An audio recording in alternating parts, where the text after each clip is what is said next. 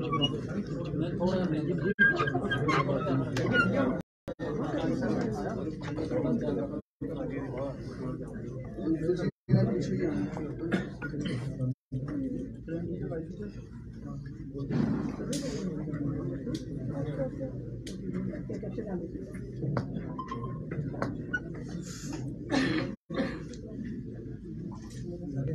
लोगों से नए साल में मेरे ख्याल पहली मुलाकात हो गई है और आप सबको नए साल की मुबारक है। जब आप तैयार हों तो बता दें।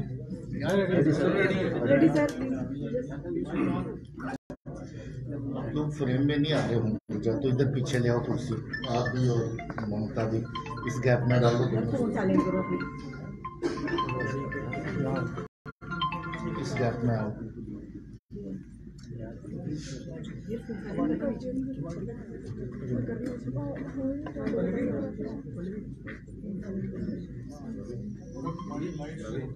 सेंटर में किस गैप में आ और डीएसपी वगैरह ऑफिसर पीछे खड़े हो सकते हैं जो आपकी टीम के अगर चाहें तो खड़े हो सकते हैं। जो आपकी कोर टीम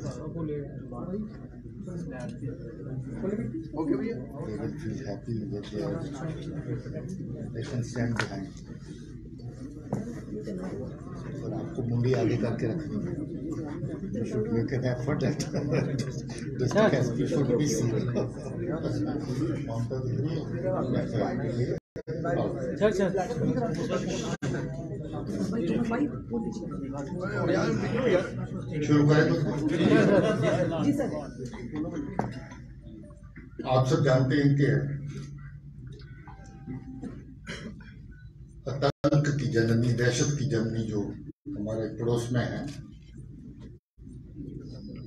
जो दुनिया भर में बदनाम है अपने सरजमीन से दहशत गर्दी चलाने और दहशत पैदा करने के लिए अलग अलग तरह की तंजीमों को लंबे अरसे तक पालने के लिए और आम जनता, बेगुनाह लोगों का दहशत गर्दी की कार्रवाइयों के ज़रिए से खून बहाने के लिए।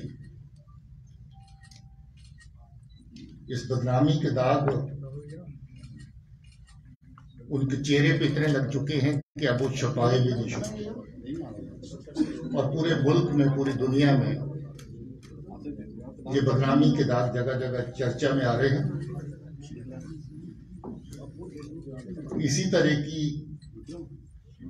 इनकी वैशियाना बुजदलाना कायराना दहशत गर्दी की हरकतें जम्मू कश्मीर में बड़े लंबे अरसे से चल रही हैं। यहाँ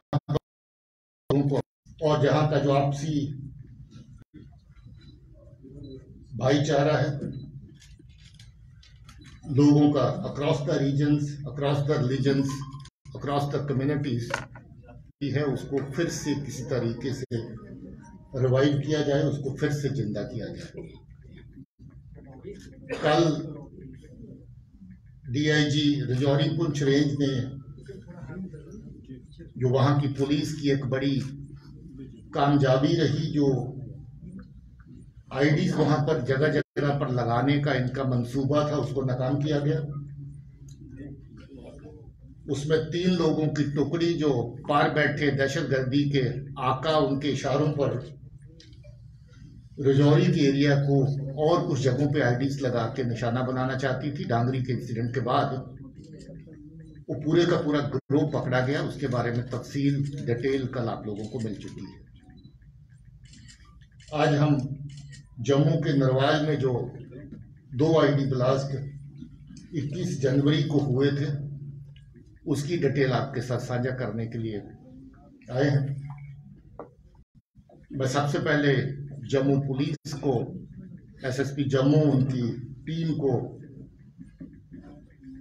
एसपी साउथ, डीएसपी साहबान और एसएचओ और बाकी टीम के लोग जो हमारे पीछे खड़े हैं उनको शाबाशी देना चाहता हूँ, मुबारक देना चाहता हूँ कि उन्होंने बहुत ही मेहनत के साथ इस केस को वर्कआउट किया। और इस दहशत गर्दी की साजिश के पीछे कौन लोग शामिल थे, उनको बेनकाब किया है। आप जानते हैं, इक्कीस जनवरी को रात को जो दो बॉम्ब लगाए गए, बीस की रात को जो इक्कीस की सुबह फटे। रात को साढ़े सात बजे के आसपास पहला और फिर उसके बाद दूसरा। और दोनों आईडीज के बीच में 20 मिनट का वक्फा इस तरीके से रखा गया कि जब पुलिस के लोग सिक्योरिटी फोर्सेस के लोग वहाँ पर इमीडिएटली रश करते, पहुँचते हैं तो उनका बड़े से बड़ा नुकसान किया जा सके। और पहले में जब दुकानें खुले, लोग जो दुकानदार आसपास अपना काम कारोबार करने वाले हैं, उनको नुकसान पहुँचाया जा सके। मगर पुलिस ने अपनी एसओपीस का पालन करते हुए अच्छे तरीके से सिचुएशन को हैंडल किया और उस एरिया को अच्छे से सैनिटाइज किया, जिसकी वजह से पहली आईडी में नौ लोग जख्मी हुए, मगर दूसरी आईडी जिसका निशाना ये था कि पुलिस और सिक्योरिटी फोर्सेस के लोग जो मौके पर आए, उनको टारगेट किया जाए। एसओपी का पालन करते हुए उस नुकसान को बचाया जा सका, वरना वो नुकसान और भी बड़ा हो सकता था, क्योंकि पहली आईडी छोटी थी और दूसरी आईडी उससे कहीं ज़्यादा बड़ी थी। और इरादा यही था कि दूसरी आईडी ज़्यादा से ज़्यादा लोगों का नुकसान करे। पुलिस ने बड़ी मेहनत के साथ आरिफ नाम के दहशतगर्द को पकड़ा है, जो रियासी का रहने वाला है। और इसकी तफ्तीश और इंटेरोगेशन के दौरान ये पता भी चला कि ये आज से नहीं, बल्कि पिछले लगभग तीन साल से ये पार जो हैंडलर हैं दहशत गर्दी को चलाने वाले जो लोग हैं, लश्कर तौबा के, उनके साथ इसका तालमेल है। इसका मामा काफ़ी सालों से कराची, पाकिस्तान में जाकर के सेटल हो रखा है। मामे के ज़रिए इसके साथ रबता हुआ और फिर एक दहशत गर्दी तंजीम को जो पार से चलाने वाला कासम नाम का आदमी है, वो भी रियासी का रहने वाला है। काफ़ी लंबा अरसा पहले वो पाकिस्तान में जाके सेटल हुआ है। और आज पाकिस्तान की दहशतगर्दी की जननी जो है, उसका साथ दे रहा है, उसका समर्थक उनका सपोर्टर है। और दहशतगर्दी की कार्रवाइयाँ पाकिस्तान में बैठ करके यहाँ पर करवाता है। कासम ने लंबा अरसा पहले कुछ उन्नीस में इसके साथ रबता साधा। आपको याद होगा, शास्त्री नगर में एक आईडी हुई थी। वो अभी तक उसका करने वाला कौन था? वो बेनकाब नहीं हो पाया था। यही आदमी है जो शास्त्री नगर में फरवरी 22 में आईडी हुई थी, यही आदमी शामिल था आपको ये भी याद होगा कि कटरा में जो बस में आग लगी ब्लास्ट के बाद, उसमें बहुत सी चीज़ें पुलिस वर्कआउट कर पाई थी। मगर उसकी एक तार अभी तक जुड़ नहीं रही थी, एक कड़ी अभी तक जुड़ नहीं रही थी कि वो आईडी फिट किसने करी बस के अंदर। इसने माना है कि वो आईडी इसी ने फिट करी थी। एक नहीं बल्कि दो आईडी लगाई थी ताकि लोगों का ज़्यादा से ज़्यादा नुकसान हो सके। और आईडी लगाने की जगह भी वो ढूंढी थी जो पेट्रोल टैंक को ही बारूद की तरह इस्तेमाल कर सके और इसने आईडी बस के अंदर जाकर के सीट नंबर तीन के नीचे जहाँ पेट्रोल पंप पड़ता है, उसके बिल्कुल ऊपर फिट करी थी, थैले के अंदर डाल के और दो आईडीज एक साथ फिट करी थी। बात यही खत्म नहीं होती, एक आईडी और अभी इसके पास मौजूद थी। और उस आईडी का फ़ोटो और हो सकता है कि थोड़ी देर तक वो सही आईडी भी आपके साथ बार शेयर कर दी जाए।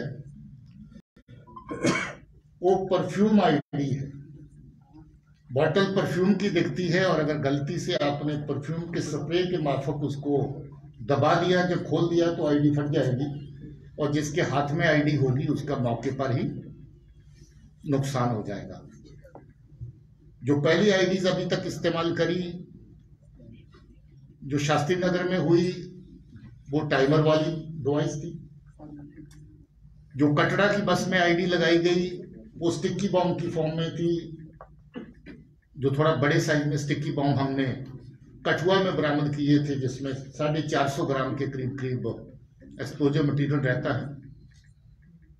और जो जहाँ पर लगाई आईडी एक साढ़े सात सौ ग्राम की थी, पहली आईडी, और जो दूसरी थी, उसका वज़न एक किलो से भी ज़्यादा था, टिफन आईडी थी, स्टील टिफन आईडी और जो अभी आईडी पकड़ी, पिछले काफ़ी अरसे से हम लोग एक एक दहशत गर्द तंजीम को जिन्होंने दहशत गर्दी की कार्रवाइयों में जहाँ पर किया है, या दहशतगर्दी की कार्रवाइयों में के अंदर ऐसे लोग नोटिफाई किए गए हैं एज टेररिस्ट। सरकार के टुकड़ों पर पल भी रहा है और साथ ही साथ कुछ और टुकड़ों के लिए अपने लोगों को नुकसान भी पहुँचा रहा है। पता चला कि इसको पहली आईडी लगा अभी जे आईडी लगाने में भी इसको ऐसा ही फ़ायदा दिया गया। अब ये देखिए कि किस हद तक ये चीज़ को मिलाने के लिए हम लोगों ने इस हादसे में जो लोग जख्मी हुए थे उनको भी लाया है। तो आप इस प्रेस के बाद उनके साथ मुलाकात भी कर सकते हैं कि उनके जज्बात, उनकी फीलिंग क्या है। और हम चाहते भी थे कि उनको जब इंसाफ मिले तो उनको पता चले कि जम्मू कश्मीर पुलिस जो है वो उनके लिए कितनी, ये ज़रूरी था कि इस केस को वर्कआउट किया जाए। मैं इस टीम को अच्छे से गाइड करने के लिए, इस टीम को दिन रात जो मेहनत कर रही थी, इसको पल पल इनका हैंड होल्डिंग और इनकी सपोर्ट करने के लिए जो सीनियर ऑफिसर हैं डीआईजी रेंज हैं एडीजी जम्मू है मुकेश साहब, इनको भी मुबारकबाद देना चाहता हूँ कॉम्प्लीमेंट करना चाहता हूँ। ये बहुत तकड़े टीम वर्क का नतीजा है कि ये केस वर्कआउट हो पाया, वरना ये केस इसलिए भी मुश्किल था कि इस बंदे ने अपने कपड़े तक जला दिए। कोई एविडेंस इसने छोड़ा नहीं। जूते भी जला दिए जो पहन के गया था, कपड़े जला दिए जो गया था। फ़ोन अपना तोड़ और इसको आखिर पकड़ा गया। इस इंसिडेंट के बारे में अभी तो एक ही का है। उसके अलावा अगर कोई तफ्तीश